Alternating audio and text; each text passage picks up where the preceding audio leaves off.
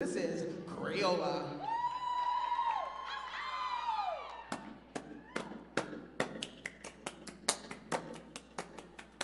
I went to see the doctor. I'd come down with the blues.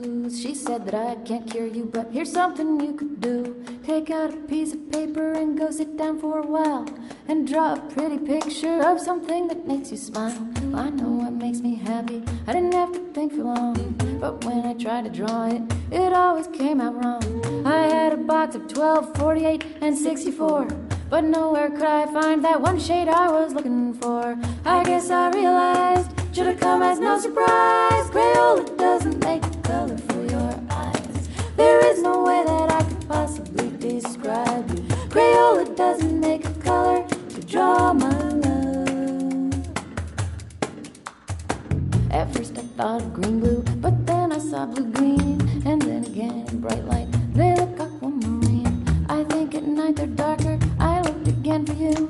Saw gray and black, and went out walking after midnight blue. But hues of the deeper skies would be a compromise. Crayola doesn't There is no way that I could possibly describe you. Crayola doesn't make a color draw my love. Spring green, spring green is much too yellow. Sea green is far too pale. Cornflower's way too mellow, so I'll try again and fail. No color qualifies. That crayon's telling lies. Crayola doesn't make a color. Hey, look, it's periwinkle.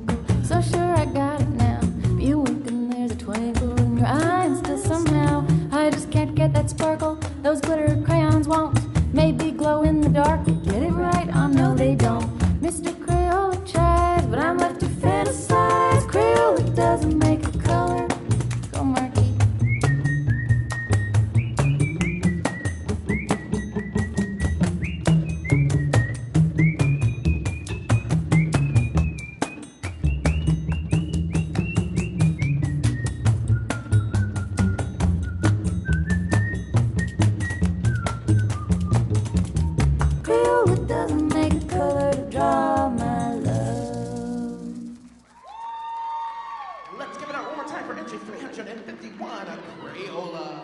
All right, everyone, that's going to conclude our first section of competition. One more huge big thank you to our judges. We're going to get our stage set up and begin these awards.